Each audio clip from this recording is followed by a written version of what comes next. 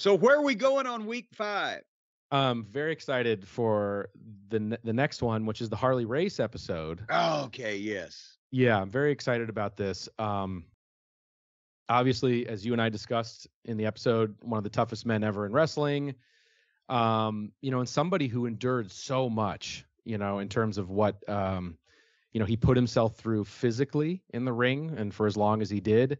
Uh, and someone who also endured a lot of personal tragedy, you know, uh, with the passing of his wife and the auto accident, um, and everything that happened to him later in his career. Um, and so we we definitely touch in uh, touch on all of that. But the most exciting thing about this episode uh, is the the absolute treasure trove of never before seen uh, video and photos that we were able to get for this episode. It is the largest, most amazing collection of stuff that uh, we've ever gotten for any episode. It's it was it was amazing. Um, That's what I uh, was going to ask you about. It actually it includes the oldest video that we know that exists of Harley in the ring. Correct?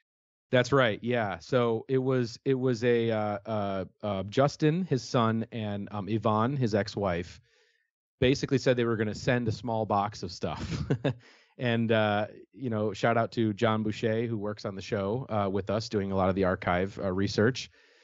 They sent him a, a three a three foot by three foot box, like a hand truck, like a guy from FedEx with a hand truck brought it up to his apartment and they went and basically i think somebody had gone through harley's storage space and just unloaded anything related to wrestling and put it in that box and um, you had reels and reels of old 8 millimeter film quad reels vhs tapes photo albums you know loose fo- photos oddly enough a furry toilet seat was uh, included from the 70s in this box not sure what that relates to, but that was in there. Uh, his actual wedding album, like from his wedding, with uh, you know, was amazing. But yeah, the footage you're referring to is, uh, and John, you know, from his research has indicated that it's the earliest known wrestling footage he's ever seen. It's very quite possible that somewhere in the WWE warehouse, you know, there's maybe some AWA footage or there's some Florida stuff that's never been seen, maybe that's in there. But as far as what's available to us, um, it is from his first or second tour of Japan. Um, and he, because you can tell, because he has like the dyed blonde hair and he's got the handsome Harley jacket. So it's got to be 68 or 69 um, from when the footage is from. And it's just amazing to see because not only do you see him in the ring, but you see sort of like this eight millimeter travelogue footage of him you know, wandering around Japan. Uh, you see him on a bullet train just hanging out with Giant Baba and his wife. and it's like this amazing, you know, film footage which we transferred and it's just it's it's crazy. But I think the so that's amazing. But my favorite thing that was included was and this is going to blow people's minds. It was uh, uh, 8 millimeter footage of a house party that the Harley the Harleys hosted uh, with the Funks so you actually see all this footage of Harley and his wife, Tori, Tori, Terry Funk, Dory Funk Senior and uh, and Junior just hanging out, drinking, smoking cigars, dancing uh, in in Harley's house in the late '60s, and they're all just hanging out. And it's you just never see footage of, especially guys like that, um, just hanging out and being themselves. You know, um, that's wild. It's gonna blow people's minds. Well, yeah. and you mentioned, you know, Harley. Not only did he do a lot of damage to his body in the ring and had a tremendous pain threshold and ability to just power through it, but also the the other physical damage he'd done to himself in a major car wreck when they they wanted to yeah. amputate his leg when he was right. just starting in the in the wrestling business and mm-hmm.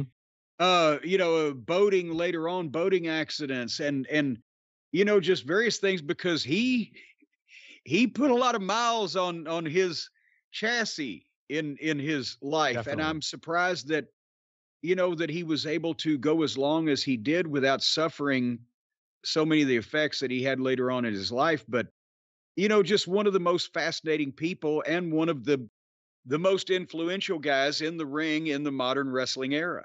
And something you said in the episode uh, is sort of making the distinction of like he is such a connection to the early days of wrestling because he started in the carnival circuit. Yeah. You know, and, and, uh, well, and and the Zbyszkos because Right. you know obviously the I think they were close to 80 or thereabouts at that point in time, but with Harley being a teenager and training with the Zbyszkos, who were literally, especially Stanislaus, was uh, not only world champion but a pioneer of when organized pro wrestling was being formed in the Mhm. 19 teens. He had such an incredible old school, not not just the the holds he was taught or the things in the ring, but the way of looking at the business and understanding the business. He was, you know, first broken in by these people that were involved in inventing it. Mm-hmm. Exactly, which is amazing. It's amazing. So that that's all covered in there. Um, one more thing about the archive that was funny. Uh, in the box that was sent uh, from the family, there was a VHS tape that was labeled like handwritten that said Harley's greatest matches VHS tape. and we're like, oh shit, Oh, here shit. it is. Here's the gold mine.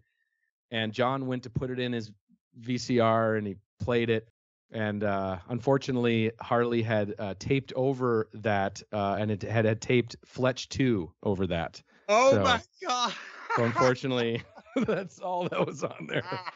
Yeah. God damn it. Um, I, can- I can see him now. Hey, greatest match. Ah, fucking Fletch is on. Yeah, exactly. Fletch two, mind you. Um, and then uh, yeah, but it's it's fascinating. This th- this episode is obviously gets into the the the legendary career, but also the tall tale legends of Harley as well.